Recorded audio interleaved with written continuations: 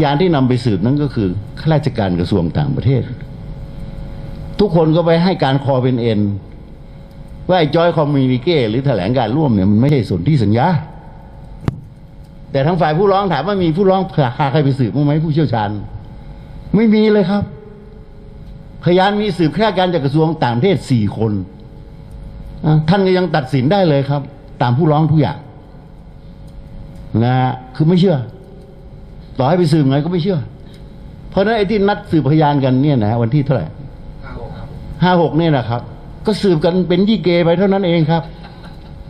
เพราะว่าว่าที่จริงแล้วนี่เนี่ยข้อเท็จจริงเนี่ย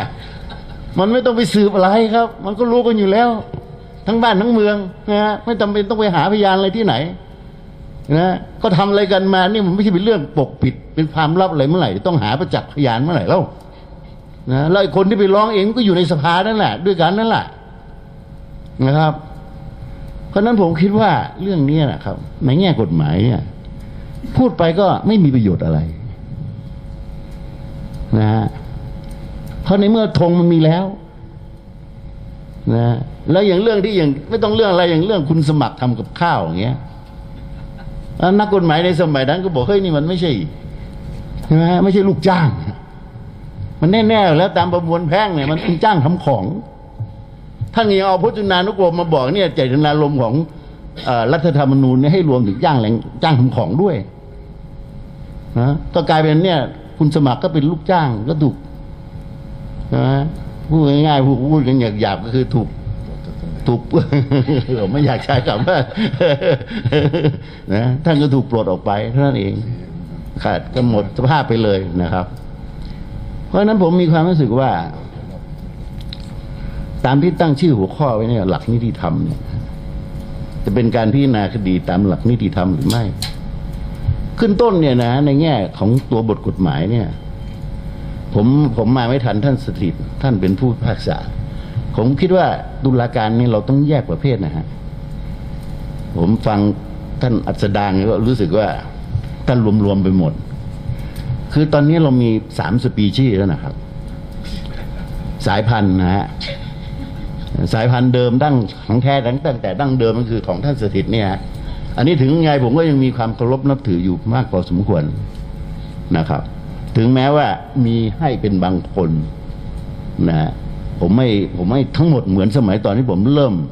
เรียนนิติศาสตร์ใหม่ ๆ แล้วผมมีความรู้สึกโอ้โลกนี้นะครับ ถ้าเราได้เข้าไปอยู่ในแวดวงการอันนี้แล้วเนี่ย ถือว่ามันสุดยอดที่สุด มันบริสุทธิ์ผุดผ่องไม่มีอะไร ไม่มีไฝฟาดตำหนิดีติงที่ตรงไหนเลย แต่หลังจากที่ผมไปเป็นเสมียนอายการเพียงแค่ปีเดียวผมรู้ว่ามีปัญหาเยอะเลย เอางี้ก็แล้วกันนะครับ เพราะนั้นจริงอยู่ถึงแม้ว่ากิติศัพท์เนี่ยนะฮะบัพพะตุลาการเนี่ย ในยุคสมัยคุณพ่อคุณปู่ผมเนี่ย เป็นอย่างนั้นจริง พ่อผมนี่บอกเลย เองจะไปทำงานราชการเนี่ยไปทำที่ไหนอะไม่ไม่ไม่มีความหมายเลยหรอก เพราะมันคอร์รัปชันกันหมด ทุกหน่วยงาน ทุกกระทรวงทุกวงกรมมีที่พอจะไปทำได้ก็คือสองที่นี้เท่านั้นน่ะแต่เองเรียนกฎหมายก็ดีแล้วพยายามสอบหนีให้ได้ก็ไปเป็นเนี่ย อย่างน้อยสุดก็เป็นอายการหรือเป็นศาลเพราะก็ยังพอที่จะพบปะหรือได้อยู่ในแวดวงของคนที่เราจะสามารถไหว้ได้อย่างสนิทใจ เพราะท่านเป็นคารวะที่นับถือศีลในสมัยนั้นถือกันอย่างนั้นครับนะแต่ในสมัยปัจจุบันนี้จะเป็นไงท่านที่อยู่ในแวดวงการนักกฎหมายทนายความท่านก็ทราบกันดีอยู่แล้วนะครับ แต่สำหรับท่านสถิตนี่คนเดียวเนี่ยนะฮะอันนี้จริงท่านกับผมอายุเท่ากัน อาจจะเข้าเรียนหนังสือเหลื่อมกันอะไรนิดหน่อยนะครับแล้วไปทำงานก็แยกแยกกันไป แต่ก็ แต่ก็เคารพนับถือท่านมาโดยตลอดนะครับ โดยเฉพาะยิ่ง ในความคิดความเห็นของท่านสถิตเองนะครับ ในฐานะเป็นตุลาการ อันนี้ด้วยความเคารพนะด้วยความอย่างจริงใจนะผมขอพูดในที่นี้ แต่สำหรับตุลาการเนี่ยถึงแม้ว่าเดิมจะสายพันธุ์เดียวกับท่านสถิตเนี่ยแต่ท่านได้แปลได้ได้เขาเรียกว่าอะไรได้แปลงได้กลายพันธุ์เนี่ยไปเป็นตุลาการศาลปกครองก็ดีหรือโดยเฉพาะยิ่งศาลรัฐธรรมนูญเนี่ยศาลรัฐธรรมนูญนี่เป็นพันธุ์ใหม่ที่ดุมากนะครับ นะครับ แล้วผมคิดว่า หลักนิติธรรมเนี่ย ดูจากท่าทีของประธานสารรัฐมนูญเนี่ยก็น่าจะพอที่ทราบได้แล้วว่าคืออะไร หลักนิติธรรมก็คือหลักที่ข้าจะบอกเองไงนี่แหละคือหลักนิติธรรมนะเพราะนั้นสารรัฐมนูญพูดยังไง นั่นคือหลักนิติธรรมนะครับ แล้วถามว่าเข้าใจอะไรกับหลักนิติธรรมกันสัก มากน้อยยังไงแค่ไหนเนี่ย ในการศึกษาวิชานิติศาสตร์ในเมืองไทยนะครับ ตั้งแต่ไหนตั้งแต่ดึกดำบรรพ์มานะถึงแม้เราจะมีผู้พิพากษาตุลาการบัพพระตุลาการ ซึ่งบริสุทธิ์ผุดผ่อง ก็คือท่านไม่กินสินบาทค่าสินบนเท่านั้นเอง แต่ถามว่าท่านท่านสนใจเรื่องสิทธิเสรีภาพขั้นพื้นฐานของประชาชนหรือไม่ อันนี้ผมคิดว่าแทบจะไม่มี เพราะอำนาจตุลาการของเรานั้นอยู่กับอำนาจนะครับ มาโดยตลอดนะท่านอยู่กับอำนาจและอันที่จริงแล้ว ท่านเนี่ยคือ คือตัวแทนของอำนาจและอำนาจที่ว่านี่ก็คืออำนาจปกครองบ้านเมืองประเทศไทยเรามาเนี่ย ตั้งแต่ไหนแต่ไรแล้วเป็นอำนาจที่พอเราเปลี่ยนแปลงการปกครองมาเป็นระบอบประชาธิปไตยแล้วเนี่ย ก็ยังถือว่าเป็นหนึ่งในสามอำนาจ แต่อำนาจตุลาการข้อสังเกตของผมคือ ไม่ได้มีการเปลี่ยนแปลงอะไรเลยนะครับ ถึงแม้ว่าจะมีการเปลี่ยนแปลงระบอบการปกครอง มาเป็นประชาธิปไตยก็ตาม ประเพณีต่างๆธรรมเนียมประเพณีต่างๆ จารีตต่าง ๆ ที่ท่านยึดถือปฏิบัติกันมาอย่างไร ตั้งแต่สมัยสมบูรณาญาสิทธิราชท่านก็ยังยึดถือปฏิบัติตามกันมาจนถึงปัจจุบันนี้ แล้วถ้าเข้าไปศึกษานะฮะว่าในแวดวงตุลาการเนี่ย มีการถ่ายทอดนะฮะมีการสั่งสมในแง่ความคิดความอ่านกันยังไงเนี่ยทัศนคติอุดมคติอุดมการอะไรเนี่ย ก็จะยิ่งเห็นชัดเจนขึ้นนะครับ ว่าประเพณีการปกครองระบอบประชาธิปไตยเนี่ย อาจจะมีการพูดถึง แต่ในความหมายมันจริงๆแล้วมันอาจจะแตกต่างกับคำคำนี้นะฮะในความหมายของที่อื่นเขานะ เพราของเราก็เป็นประชาธิปไตยได้ทั้งที่เรามีองค์กรในการใช้อำนาจ ซึ่งไม่ได้คำนึงถึงสิทธิเสรีภาพอะไรต่างๆของประชาชนไม่ได้คำนึงถึงหลักการแบ่งแยกอำนาจเลยเลย อย่างเช่นเห็นเป็นตัวอย่างชัดเจน ในกรณีที่กำลังเป็นปัญหาอยู่ในขณะนี้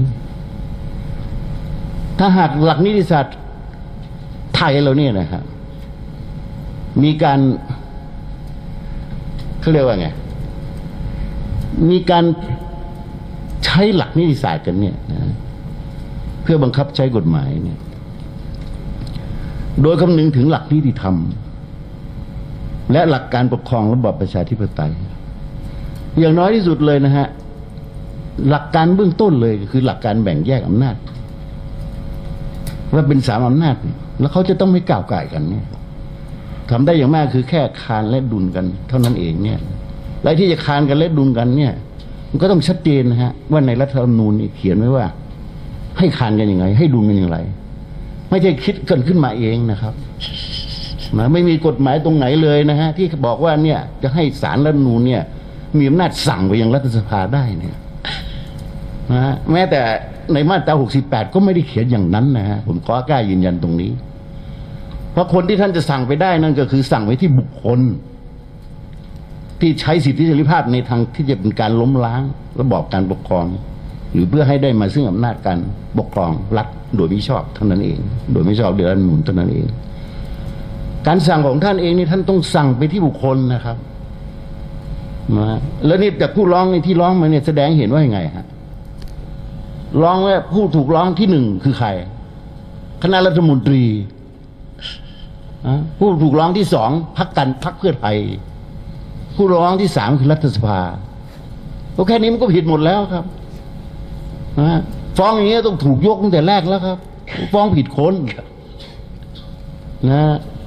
เพราะทั้งรัฐสภาก็ดีทั้งในทั้งรัฐคณะรัฐมนตรีก็ดีเป็นองค์กรตามรัฐธรรมนูญ แล้วเป็นองค์กรที่เป็นตัวแทนของอีกอำนาจอีกสองฝ่าย ซึ่งเขาจะมามีการสั่งการกันเนี่ยมันมันก็เท่ากับว่าตัวเองเป็นอำนาจที่เหนือกว่า ถึงสั่งไปที่อำนาจอื่นได้ เพราะฉะนั้นถ้าหลักนิติศาสตร์ไทยยึดมั่นอยู่กับหลักการพื้นฐานอย่างนี้นะครับกรณีอย่างเช่นที่ว่านี้จะไม่เกิดขึ้นครับ แล้วว่าที่จริงแล้วเนี่ยนะฮะหลักการปกครองระบอบประชาธิปไตย ในระบอบรัฐสภา อย่างที่เรายึดถือเป็นอยู่ในปัจจุบันเนี้ยนะดั้งเดิมของเขาเลยที่เกิดขึ้นมา ก็เกิดที่ขึ้นมาที่ประเทศอังกฤษ